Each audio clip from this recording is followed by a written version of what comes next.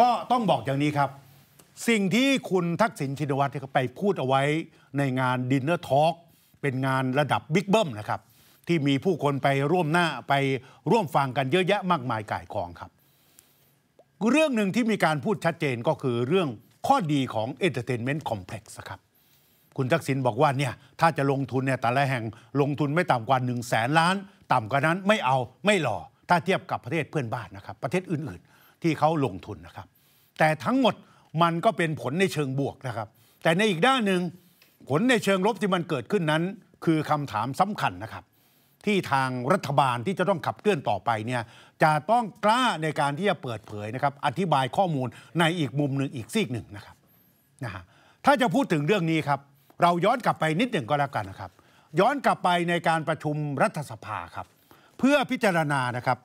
เพื่อพิจารณาผลการศึกษา เปิดสถานบันเทิงนะครับ ครบวงจรหรือว่า Entertainment Complex นะครับ ซึ่งก็จะรวมทั้งบ่อนคาสิโนเนี่ยรวมอยู่ด้วยนะครับ ตอนนั้นให้เหตุผลไว้ 2 ข้อใหญ่สำคัญครับหนึ่งนี่จะเป็นแนวทางในการที่จะแก้ไขปัญหาเล่นพนันผิดกฎหมายครับ โอ้โหหลายคนงงครับว่าเล่นพนันจะถูกกฎหมายได้อย่างไรสองก็คือจะเป็นแหล่งของรายได้มหาศาลที่จะเข้าประเทศครับ นะฮะซึ่งในการประชุมรัฐสภาในวันนั้นครับก็เป็นเรื่องที่ส่อเขาให้เห็นแล้วล่ะ เพราะว่าไม่มีแม้แต่เสียงเดียวครับ ที่จะขัดขานครับ มติออกมาเนี่ย257 ต่อศูนย์เสียงครับ อาจจะมีบ้างที่งดออกเสียงนะครับ หรือไม่ลงคะแนนครับ รวมแล้ว4คนเท่านั้นเองครับ นั่นทั้งว่าโดยทั่วไปไม่ว่าจะเป็นฝ่ายค้านและฝ่ายรัฐบาล ต่างเห็นดีเห็นงามกับโครงการนี้ครับนะฮะหลังจากนั้น เราก็ได้เห็นสัญญาณครับว่ารัฐบาลเดินหน้าขับเคลื่อนเรื่องนี้แน่นอนครับ แล้วก็จะเดินหน้าอย่างรวดเร็วแข่งกับเวลาด้วย นั่นก็คือการเรียกประชุมแกนนำพักร่วมรัฐบาลนะครับ ในวันหยุดเรียกการแบบปัจจุบันทันด่วนนะครับ 12 สิงหาคมที่ผ่านมานะครับ เป็นวันหยุดครับ คนที่เรียกประชุมไม่ใช่ใครครับ คุณภูมิธรรมเวชยชัย รองนายกและรัฐมนตรีพาณิชย์ในขณะนั้นครับ ในฐานะที่เป็นแกนนำของพรรคเพื่อไทย เรียกประชุมแกนนำพรรคร่วมรัฐบาลที่ทำเนียบรัฐบาลครับ วันนั้นก็มีกระแสข่าวลือกันหนาหูนะครับว่าจะมีการเร่งพิจารณากฎหมายหลายฉบับที่ยังค้างคาอยู่หนึ่งในจำนวนนั้นก็คือร่างพระราชบัญญัติประกอบธุรกิจสถานบันเทิงครบวงจร หรือว่า Entertainment Complex ซึ่งก็จะรวมทั้งคาสิโนหรือบ่อนการพนันเนี่ยรวมอยู่ด้วยครับ แม้ว่าวันนั้นเนี่ยคุณภูมิธรรมจะปฏิเสธนะครับว่าไม่มีการพูดคุยกันในเรื่องนี้ แต่ปรากฏว่าในวันถัดมาครับ ไม่รู้เตรียมกันอีท่าไหนครับ วันถัดมาเนี่ยสสกลุ่มยังเติร์กครับที่เป็นแกนนำของพรรคภูมิใจไทยครับ ที่นำโดยคุณอ่าชัยชนกคิดชอบ นี่เป็นเลขาธิการพรรคคุณพราดอนปริศนานันทกุลนะครับ นี่เป็นรองหัวหน้าพักเป็นคนดิเดตเป็นเต็งจ๋ารองประธานสภาผู้แทนราษฎรคนที่หนึ่งครับ ตั้งโต๊ะแถลงครับ บอกว่าในการหารือในวันดังกล่าวเนี่ยนอกจากจะมีการหารือเรื่องตำแหน่งรองประธานสภาผู้แทนราษฎรที่คุณพราดอนเนี่ยนะเป็นเต็งจ๋าอย่างที่บอกแล้ว ก็ยังยอมรับนะครับว่ามีการพิจารณาแสดงความคิดเห็นนะครับ ในร่างพระราชบัญญัติประกอบธุรกิจสถานบันเทิงครบวงจร หรือว่า Entertainment Complex นี่แหละ จากพักร่วมรัฐบาลครับ มีการแลกเปลี่ยน เพราะว่าทางรัฐบาลเนี่ยมีการแจกนะฮะ ร่างกฎหมายนะครับที่ว่านี้ให้กับพักร่วมรัฐบาลไปศึกษาครับ ในวันถัดมาที่กลุ่มยังเตอร์ของพรรคภูมิใจไทยตั้งโต๊ะแถลงเนี่ยบอกว่าเบื้องต้นภูมิใจไทยไม่เห็นด้วยอยู่ 4 ข้อหลักนะครับนะฮะไม่ว่าจะเป็นข้อแรกครับ ไม่เชื่อว่าโครงการนี้จะเป็นการป้องกันการเล่นพนันที่ผิดกฎหมายสองไม่มั่นใจนะครับว่านี่จะช่วยกระตุ้นการท่องเที่ยว อย่างที่มีการโปรโมทอย่างที่มีการพูดคุยกันไว้จริงหรือเปล่า สามไม่มีรายละเอียดว่าด้วยการดูแลช่วยเหลือ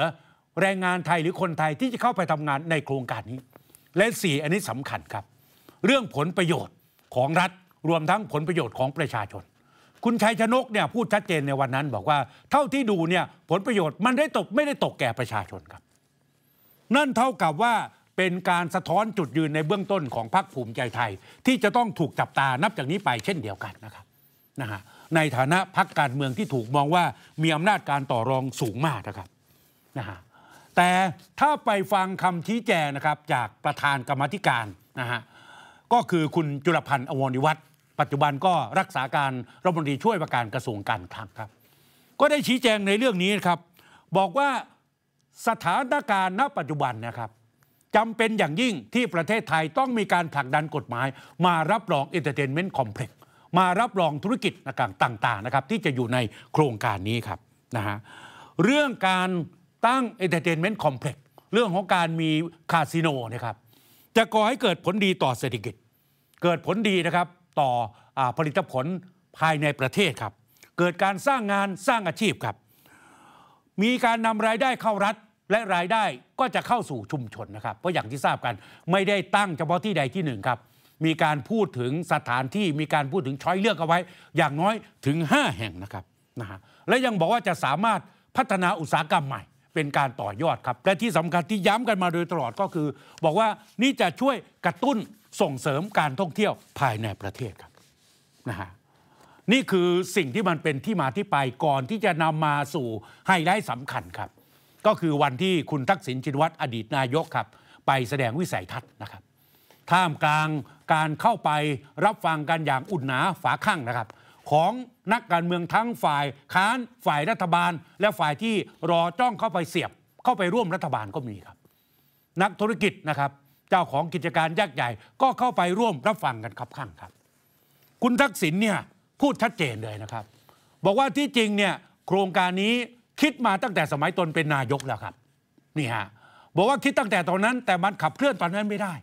แต่ตอนนี้ถึงเวลาแล้วครับ บอกว่าถึงเวลาที่จะนำธุรกิจใต้ดินเนี่ยขึ้นมาบนดินครับ ซึ่งก็จะช่วยให้เพิ่ม GDP ของประเทศนั้นได้ถึง 50%ด้วยครับหนี้สินของประเทศก็จะลดลง ถ้ามีรายได้เพิ่มขึ้น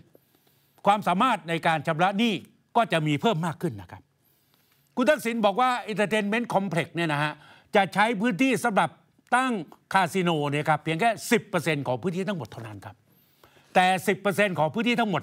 จะเป็นพื้นที่ที่ทำรายได้มากกว่า 80%นะครับของทุกส่วนที่อยู่ในโครงการนี้ครับ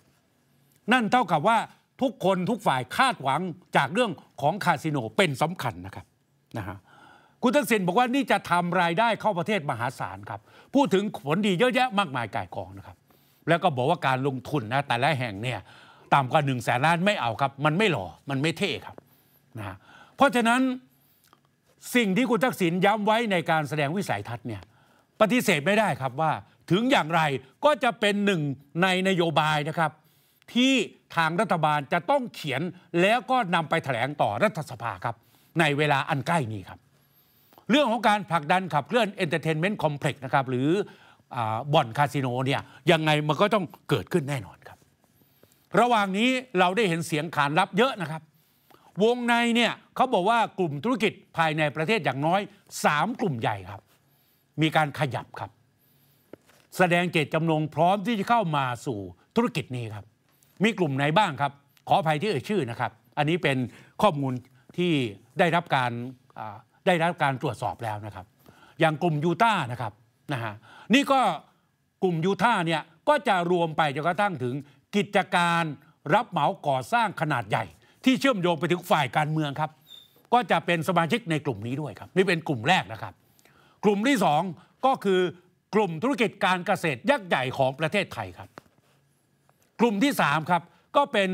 กลุ่มของอดีตห้างสรรพสินค้าชื่อดังในอดีตครับ แต่ว่าทุกวันนี้ก็ยังอยู่นะครับนะฮะก็แสดงเจตจำนงครับ แล้วก็มีการ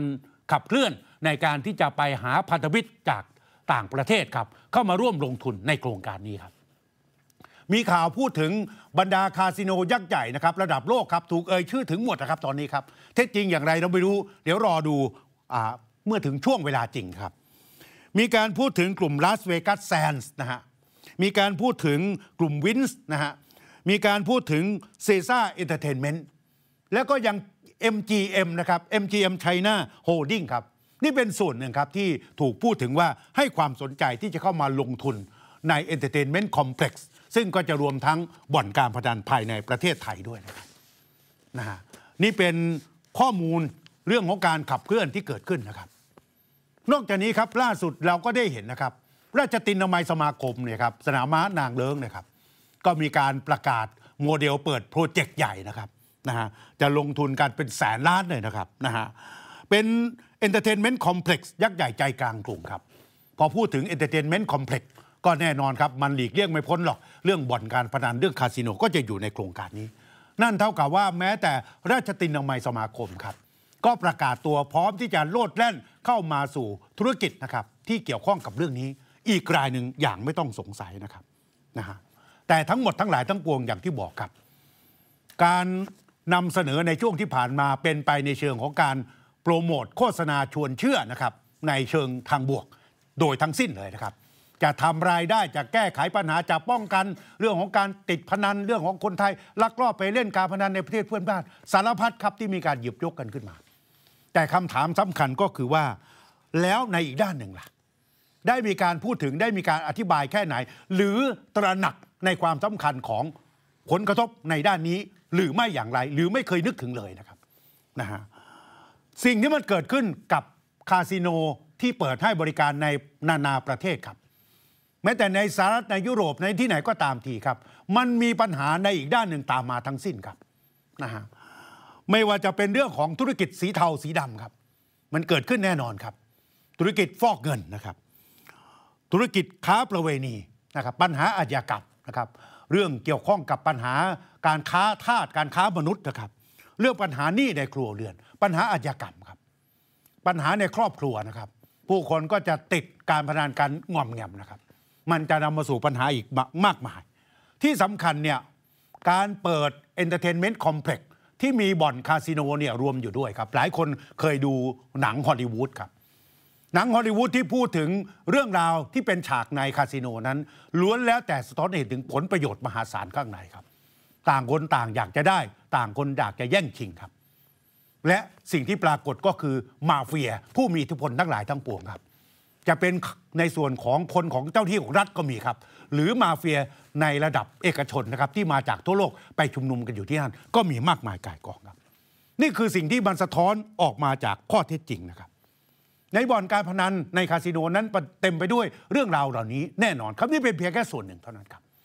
นะฮะนอกจากนี้ครับ ยังไม่นับรวมไปถึง ถ้าเกิดว่ามีการใจดีครับว่าจ้างคนไทยครับไปทำงานอยู่ในโครงการนี้ครับคำถามก็คือจะมีสักกี่คนครับ ที่ประคับประคองตัวเองครับ ไม่ไปคล้องแวะกับเรื่องของการเสี่ยงโชคเล่นการพนันนะครับอันเป็นนิสัยของคนไทยส่วนหนึ่งครับขออภัยนะครับ ไม่ได้บอกว่าเป็นอุปนิสัยของคนไทยทั้งหมดครับนะฮะและที่สำคัญ มีการพูดถึงตัวเลขการลงทุนนะครับ ค่านู่นค่านี่เยอะแยะมหาศาลที่เข้ามาสู่ประเทศ แต่เรื่องหนึ่งที่คนที่เป็นกูรูเกี่ยวข้องกับการพนันเนี่ยพูดเอาไว้นะครับ เตือนเอาไว้ก็คือเรื่องอิทธิพลครับเรื่องการเข้ามาแทรกแซงครอบงำนะครับของบรรดาฝ่ายการเมืองและกลุ่มขาใหญ่ทั้งหลายทั้งปวงครับ ที่ตอนนี้จ้องรอที่จะแสวงหาผลประโยชน์ที่จะตามมานะครับ ไม่ใช่เพียงแค่เรื่องในหน้า ไม่ใช่เพียงแค่เรื่องของการติดต่อ ไม่เพียงแค่การเป็นตัวกลาง นะครับรับเจรจา ยังรวมไปจนกระทั่งถึงการถือหุ้นลมครับ คนที่ถือหุ้นลมได้ต้องไม่ธรรมดาครับ ถ้าถือหุ้นลมได้ดีโอ้โห เรียกได้ว่าไม่รู้การตรวจส่งตรวจสอบอะไรทั้งหลายทั้งปวงทำไม่ได้นะครับ หรืออย่างแย่ที่สุดก็เอาคนอื่นไปเป็นนอมินีครับ ถ้าเป็นไปตามนี้กฎหมายจะสืบสาว เจ้าหน้าที่กฎหมายของบ้านเมือง จะสามารถสืบสาวไปถึงได้ หรือไม่อันนี้เป็นประเด็นคำถามครับ ที่คำตอบนั้นน่าจะมีอยู่ในใจกันอยู่แล้วนะครับ เพราะฉะนั้นนี่คือในเรื่องของมุมมืดสำหรับโครงการนี้ ซึ่งเชื่อแน่ว่ารัฐบาลของคุณอุ้งอิงนั้น เดินตามสิ่งที่คุณทักษิณนนั้น ได้แสดงวิสัยทัศน์เอาไว้แน่นอน สรุปสุดท้ายครับ ก่อนหน้านี้เราก็จะขายเอกลักษณ์ ขายของดีของไทย หรือแม้แต่ในยุคสมัยปัจจุบันช่วงของคุณเศรษฐาเข้ามาเป็นนายกเนี่ยก็จะมีการพูดถึงเรื่องซอฟต์พาวเวอร์ของดีของไทยที่มีเยอะแยะมากมายก่ายกองครับ หลายต่อหลายคนต่างมีไอเดียกันพรั่งพรูนะครับจะเอาเรื่องนั้นเรื่องนี้มาเป็นซอฟต์พาวเวอร์เป็นจุดขายให้กับประเทศไทย ตอนนี้ไม่รู้ว่าซอฟต์พาวเวอร์ซึ่งคุณอุ๊งอิ๊งเคยบอกว่าจะสร้างรายได้เข้าประเทศเดียวปีละ 4 ล้านล้านบาทเนี่ยมันน้อยเกินไปหรือเปล่า หรือมันหาได้ช้าเกินไปหรือเปล่า เอาอย่างนี้ไปเลยเอาบายมุกบ่อนคาสิโน เอาทุกสิ่งทุกอย่างมาอยู่ตรงนี้เป็นจุดขายไปซะเลยครับ ไม่รู้ว่า เป้าหมายสุดท้ายอนาคตสุดท้ายจะเกิดอะไรขึ้นครับ นี่คือสิ่งที่ต้องพึงตระหนักนะครับ ห้ามมองข้ามโดยเด็ดขาดครับ ครับ ขอบคุณครับ พี่ประจักษ์ครับ ขอบคุณค่ะ